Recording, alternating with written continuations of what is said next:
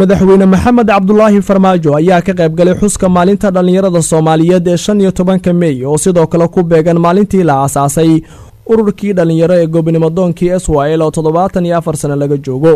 Madaxweyne farmaajo ayaa socod ku soo maray waddada u dhexeysa madaxtooyada iyo taalada israel waxaana kadib uu salaan sharaf ka qaatay cutubyo ka mid a ciidanka qaranka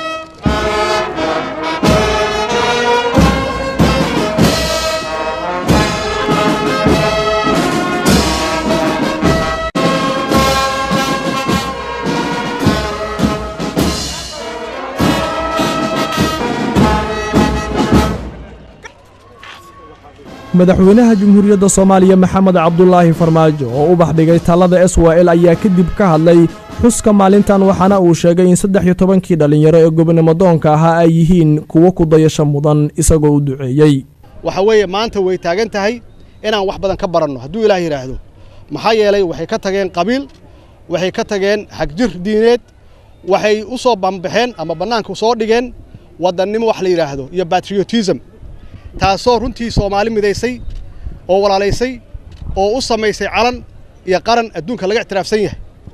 Maanta aad iyo aad yaan ugu faraxsanahay ummadda soomaaliyeedna waa u hambalyanaya waxaan leeyahay hambalyo. Maxaanku idhaahdaa ururkii s y sha hawshii ay qabteen. Allaha naxariistii jannadii siiyo saddex iyo tobankii dhallinyaro hawshii ay soo qabteen. Annagana insha allah waa ku dayanaynaa hadduu ilaah yidhaahdo khudbadda madaxweynaha kadib ayaa loo dareeray garoonka cayaaraha ee banaadir stadium halkaasoo dhallinyaro badan ay isugu soo baxeen xuska shan iyo tobanka mey ra'iisul wasaare ku-xigeenka dalka mahdi maxamed guuleed ayaa koonis kula hadlay dadkii isku soo baxay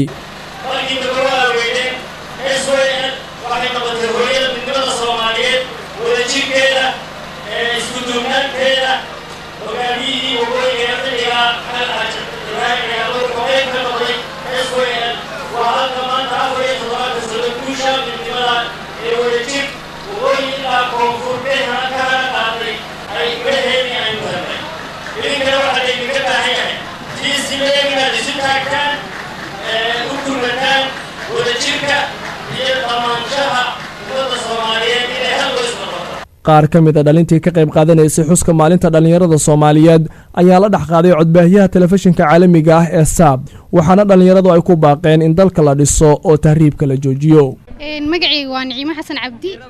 Waxaan ka socdaa dhallinyarada socdaalka nabadda beas wolk aadaan ugu faraxsanahay inaan maalin ceenkan oo kale aan ka qayb qaato shan iyo tobanka mey in si qurux badan dhallinyaradii ay ugu dawaaldegayaan annaga oo qiimaha ay ku fadhiyaan saddex iyo tobankii israel dhallinyaradii soomaaliyeed. Aadaan ugu faraxsanahay in ra'iisul wasaare ku-xigeenka iyo gudoomiyaha gobolka banaadir meeshaan ka qayb qaataan annagana oo ah oo matalayna magaceena sidaa ka dareemayso socdaalka nabadda inaan ka qayb qaadan oo ku faraxsanahay hambalyaa leenaha soomaalida meel kasta oo ay joogaan. Magacaygu waa cabdiciise abshir jaamac ka mid ah dhallinyarada soomaaliyeed ee ku nool gobolka banaadir waxaan rabaa in halkan uga hambaliyo dhallinyarada soomaaliyeed. Dhammaan meel walba ay joogaan dunida dacaladeeda toddobaatan afraad sanad guuradii toddobaatan afraad ee ka wareegatay markii la aasay ururka s w l. Kuna beegan maalinta dhallinyarada soomaaliyeed. Dhallinyarada soomaaliyeed ragga dumar waxaan leeyahay hambalyo hambalyo. Waxaan ugu baaqaya dhallinyarada soomaaliyeed inay saddex iyo tobanka dhallinyaradaha s w l ay ku daydaan oo howlkari iyo la yimaadaan howlo firfircoon dalkooda si u samata bixin lahaayeen colaadaha hadda ku jira in sidii looga samata bixin lahaa abaaraha iyo weliba faqriga dhibaatooyinka waddanka soo wajahay. Waxaan rajaynayaa insha allahu tacaala sanad goorada ku xigta hadduu alla inaan ku kulanno waddanka oo barwaaqo ah nabad iyo barwaaqo. Peace and horta ugu horreyn hataa ka bilaabo furtuun xuseenaa lay dhahaa degmada hilwaaya ka socdaa.